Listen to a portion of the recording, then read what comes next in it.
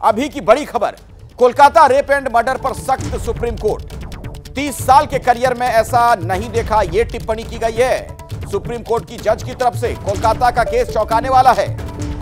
Unnatural death report से पहले postmortem कैसे? यह एक बहुत गंभीर सवाल पूछा गया। इसके अलावा 9 अगस्त की रात 11:45 पर एफआईआर क्यों? यह सुप्रीम कोर्ट ने पूछा है। पहले पोस्टमार्टम, फिर एफआईआर। हैरान हूँ यह कहा जज ने। अहम सबूत मिट जाने का अंदेशा है। 5 सितंबर को मामले की अगली सुनवाई अब होनी है। आपको बता दें कि इस मामले में दरअसल सुप्रीम कोर्ट ने स्वतः संज्ञान लिया था। जब पहली सुनवाई हुई थी, उसी दौरान सुप्रीम कोर्ट ने कहा था कि आज, यानी गुरुवार को इस मामले में सीबीआई स्टेटस रिपोर्ट दे।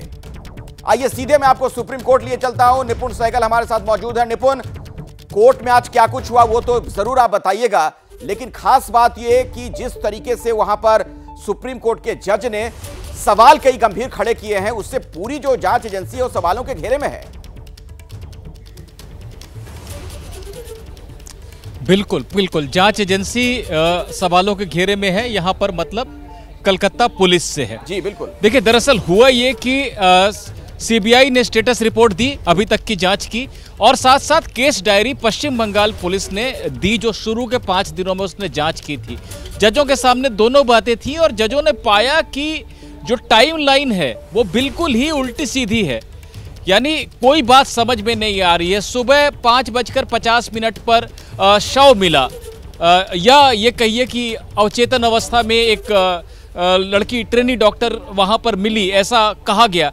लेकिन पुलिस के पास जो केस डायरी में जो दर्ज किया है, उन्होंने जनरल रजिस्टर में सुबह सवा दस बज के दस मिनट का, यानी पाँच घंटे का समय यहाँ बीत जाता है। उसके बाद आखिरकार पुलिस जब एफआईआर करती है, रात को ग्यारह बजकर पैंतालीस मिनट पर, शाम को सवा सात बजे पोस्टमार्टम खत्म होता है। उसके बाद घटनास्थल को सील करती है पुलिस, यानी चौदह पंद्रह सोलह घंटे, कीमती घंटे बर्बाद किए पुलिस ने। इस पर कोर्ट ने कड़े सवाल उठाए और जस्टिस पारडीवाला जो बेंच के सदस्य थे, उन्होंने कहा, तीस साल से मैं इस प्रोफेशन में हूँ, मैंने पुलिस का ऐसा आचरण कभी नहीं देखा।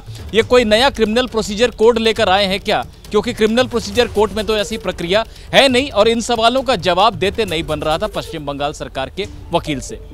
बिल्कुल। जैसे ही घड़ी का काटा दोपहर ढाई पे आए बबीता जी का दिल सास बहू साजिश के लिए मचल जाए।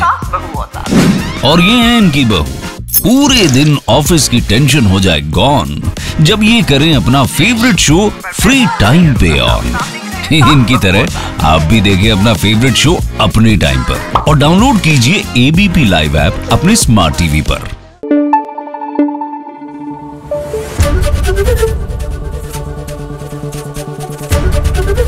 एबीपी न्यूज़ आपको रखे आगे।